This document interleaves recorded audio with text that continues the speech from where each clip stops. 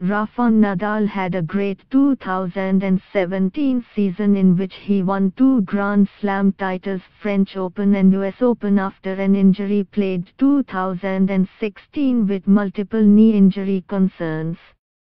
He, like his longtime rival Roger Federer, dominated the field in a year which saw the usual suspects in Novak Djokovic and Andy Murray bear the brunt of long tennis seasons and suffer injuries of their own. In an Instagram post, the Spaniard recounted the key moments and great memories of 2017 which feature his 10th French Open title to make him the first player to win 10 of the same Grand Slam. To further highlight the magnitude of this achievement, no player has won more than eight of the same Grand Slam titles. Federer won his eighth Wimbledon in the year. Earlier in the year, in the tune-up the Roland Garros event, he won a 10th Barcelona Open title.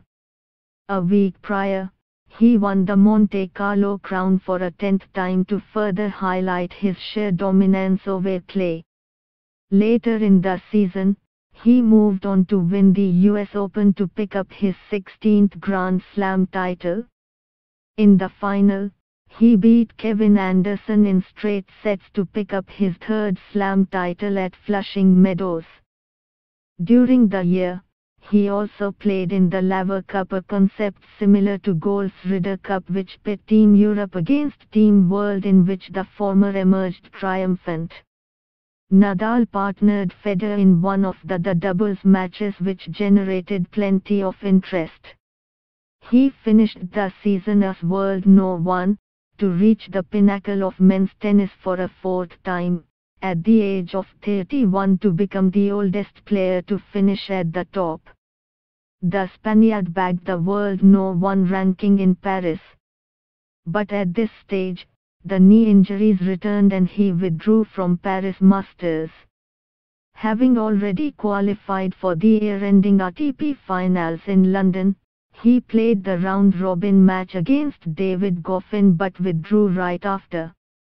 As the season enters 2018, he has not played in Abu Dhabi, Brisbane and Sydney but is slated to play at an exhibition tournament on January the 10th. For all the latest sports news, download Indian Express app.